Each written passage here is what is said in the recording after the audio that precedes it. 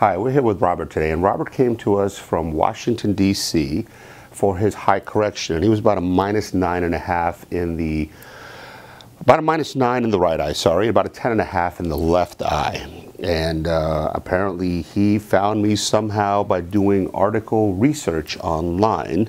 Yeah, I've found a lot of your journal articles online uh, that you specialize in people with high correction. Uh-huh. Uh, I wrote that paper. yeah. I'm shocked that an athletic trainer who used to be with my favorite team, the Jets, Yeah. uh, actually read this stuff. So it was Rex Ryan. He got you to do it. yeah, actually Sexy. Rexy. But you found the articles, and Yeah, and then I found your YouTube channel. Mhm. Um, you know, kind of.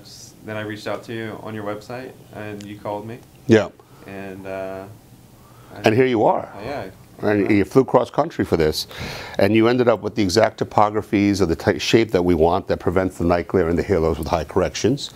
That's pretty cool stuff. I gave you a set uh, to hold on to because they look, they look pretty cool already at a week out. But uh, the nice, the idea is is um, that we get your eyes where we get better vision, and I think one of the eyes is already better. Your right eye is already better than your best corrected vision pre-surgery, and we're at six days out yeah, and his topographies look amazing. They look like something that we took a picture of a, a lens made in a factory rather than a human cornea. So I think we achieved it. And uh, thanks for coming all this way. It's an honor. yeah. No problem. I'll be back out to see you for a follow up soon. And enjoy the weather. Absolutely. Now, if you get another job with the Jets. I'll find some tickets. thanks. Thanks. Okay.